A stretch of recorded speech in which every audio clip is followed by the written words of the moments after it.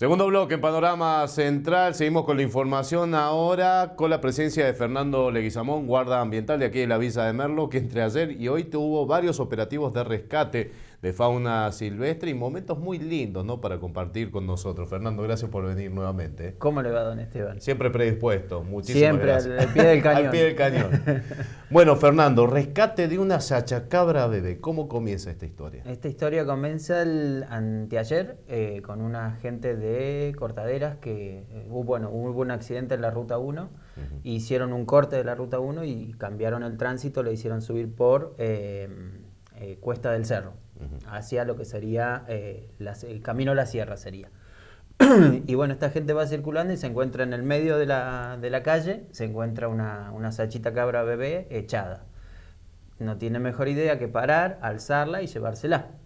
Eh, al otro día lo que hacen es llevarla a una veterinaria, tratan de comunicarse conmigo, no se podían comunicar conmigo, y bueno, la llevan a una veterinaria, la- a lo de Juli, la, la manada, ahí en Juana Zurduy y Ruta 5, casi enfrente de Horacio La Mota. Bueno, ella hizo la- las cosas correspondientes de revisarla si estaba bien, estaba en perfecto estado. ¿De aproximadamente cuánto tiempo Y sachacabra? tenía días, días de haber nacido, no, no era grande, porque generalmente cuando tiene las pintitas blancas que parecen Bambi es porque son bebés. Eh, después van cambiando ese pelaje y empiezan a ser todas eh, parda, que le decimos. Claro. Bueno, allí eh, en la manada, en la veterinaria, le hacen La las primeras revisan, atenciones y se comunican con vos. Y se comunican conmigo para ver qué hacíamos. Le digo, mira, yo las opciones son o criarla, que es muy posible que no sobreviva al criarla. La otra opción es llevarla a ver si encuentro la, la madre o mm, pedí por favor a la gente que la había encontrado que me mande ubicación, donde la habían encontrado, todo para yo recorrer la zona. Si no, la otra opción era mandarla a la Florida, eh, a la reserva de la Florida en, en San Luis Capital. Claro. Eh, así que bueno, tomé la, la segunda opción de ir y revisar el lugar después de haber accionado de sacarle todos los olores nuestros, porque ahí bueno, en el Facebook hay uno que hace un comentario eh, en base a es que es muy difícil que la madre la acepte con olores nuestros. Eso creo que ya te lo he comentado varias veces con, en las notas cuando hemos rescatado, por ejemplo, un- unos, pum- unos pumitas, no, unos gato montés que los había agarrado una gente y también le saqué los olores. No sé si te acordás con Sí, qué. sí, sí, sí, sí.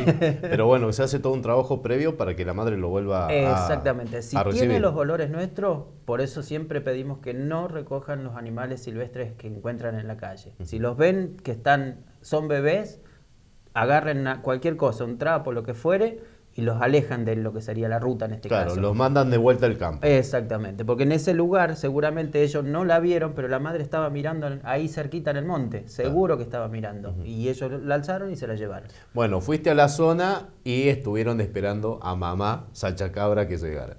Sí. Vamos a ver el video. Acá andamos en el monte buscando a la mamá de esta sachita bebé. Estamos viendo si la encontramos. Fue encontrada por un agente anoche acá en Cerro de Oro, de la ruta 1 hacia arriba, de Bagués hacia arriba. Y bueno, hicieron el contacto para hacer el rescate porque estaba tirada en el medio de la calle supuestamente. Y bueno, ahora le hicimos una limpieza para sacarle nuestros olores. Y acá la estoy, estoy viendo si encuentro a la madre en el monte, en la zona donde esta gente la encontró. A ver si encontramos a la madre y la vamos a hacer la propia liberación. Es muy bebé, muy, pero muy bebé. Debe tener días de haber nacido.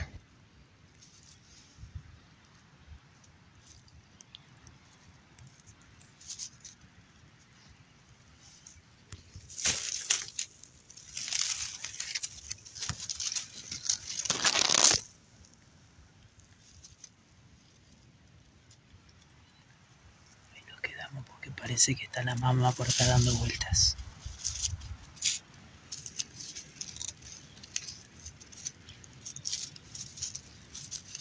Vamos a quedar en silencio. Estamos esperando que ella llore. A ver si la mamá se acerca.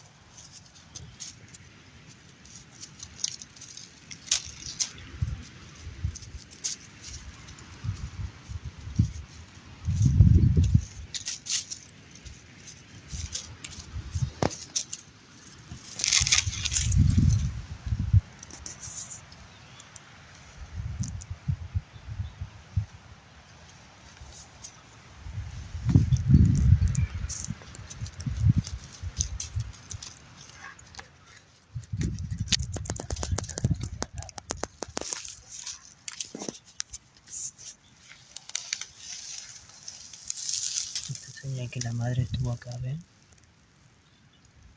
No sé si se alcanza a divisar.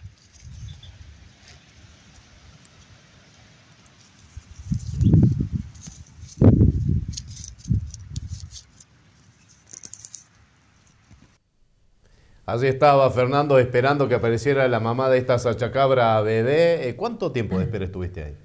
Y habré estado de las seis y media de la tarde hasta casi las ocho y media de la noche. Y te pasó lo de la ley de Murphy, ¿no? Sí. O sea, en el momento de reencuentro, ¿qué es lo que puede llegar a pasar? Te quedas sin batería. sí, me quería matar. Pero bueno, lo importante que quedó en mi retina el momento ese de que tuvo el reencuentro.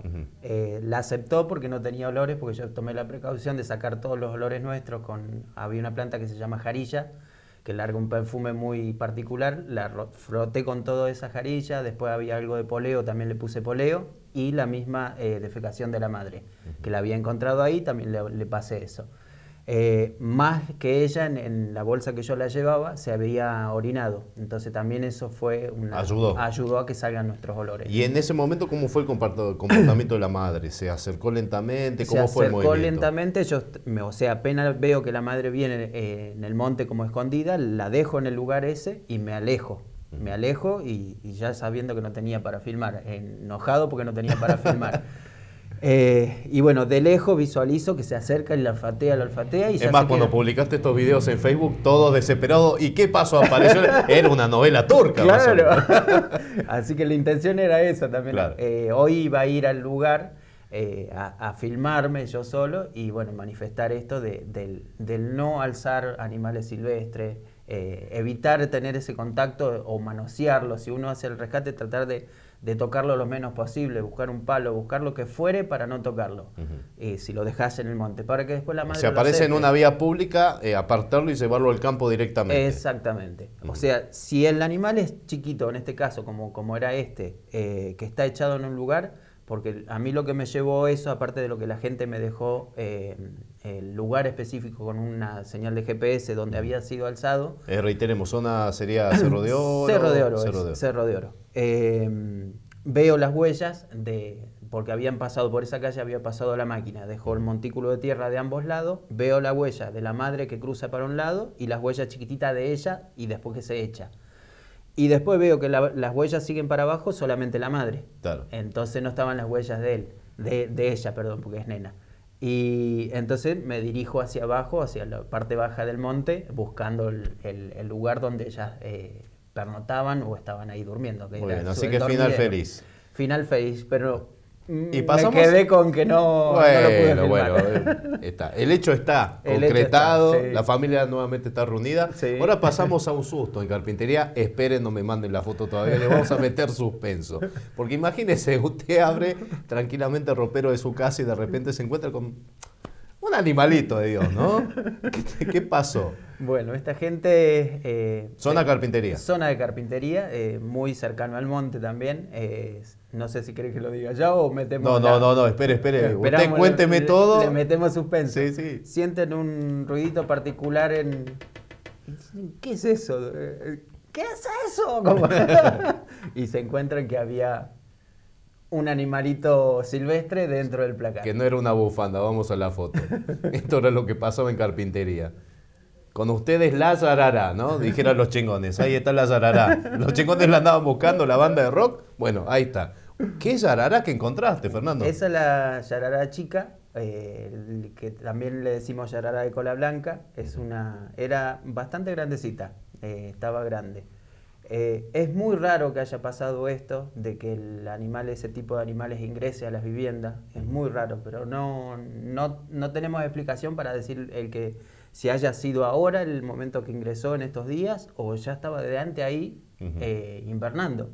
Puede haber pasado eso también. Pero ahora con los calores, ¿no sale de su invernación? ¿No estaba buscando un lugar fresco? Ahora estamos en época de que van a empezar a salir. Eh, más llegado a noviembre, diciembre, más que octubre. Todavía tenemos algunos frescos, y, pero si hay eh, épocas así de calorcito días de calor, salen a, buscar alimento. Y comienza la temporada, ¿no? Y comienza la temporada, que yo le, le, digo, la regamos con la temporada de serpiente. y por si esto no fuera poco, después del recate Después del rescate, Rescate. de la serpiente, todo esto ocurrió a la mañana. Lo de la serpiente en carpintería y acá en Cerro de las Lajas, casi Pepe Mercado, un, un peludito o una mulita, como le decimos. ¿Y dónde estaba?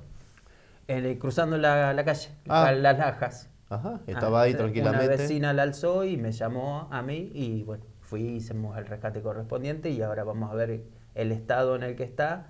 Por lo que se ve que está bien, así que después muy prontito vamos a hacer la, la liberación. ¿Es un espécimen adulto? No, eh, chiquitito, Chiquitito. chiquitito, sí. Eh, o sea que lo- puede pasar lo mismo que la sachacabra bebé, se habrá perdido. o- Mm, En la zona es muy difícil que haya estado en esa zona. Eh, La han traído, cosa que puede ser para alimento o, o puede ser por, por criarlas, no sé. ¿Cómo para alimento? el- las mulitas se comen. Ujú. eh, ah, decís para consumo personal. Exactamente. Ah, Hay una mm, época que se dejó no de... lo sé, pero a mí no se me ocurre por la cabeza comer com- una molida. Bueno, pero hay gente que sí, la gente de campo la, la- la sigue comiendo. Yo si estoy en una situación de que no tengo otra cosa para comer, las voy a comer igual también. Claro. Pero el hecho no, no es ese, Claro. sino que traerla de algún lado, que la sacaron de su hábitat natural, eh, no sé si el fin era mascotizarla o, o qué. Así que bueno, la han traído a pleno centro.